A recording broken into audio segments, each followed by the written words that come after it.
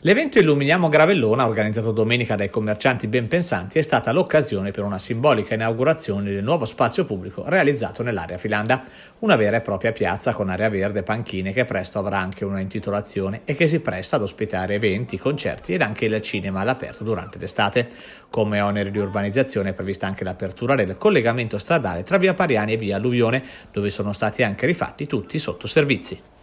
È uno spazio che per anni è rimasto fermo, è rimasto tutto bloccato in seguito a, dei fallimenti, ma ora dopo un anno di intenso lavoro l'impresa che ha ritirato questo intervento ha restituito alla città un pezzo importante, quindi una nuova piazza, ha, ultimato tutta una serie di urbanizzazioni che, che, che erano ferme da anni e delle quali c'era bisogno, sistemazioni fognarie, asfaltature, parcheggio. E quindi ora inizia a così, offrire alla città questo nuovo spazio attraverso un momento di festa, attraverso la giornata di, di festa per l'accensione delle luci di Natale, ci sembrava un, un bel modo per far conoscere questo, questa realtà.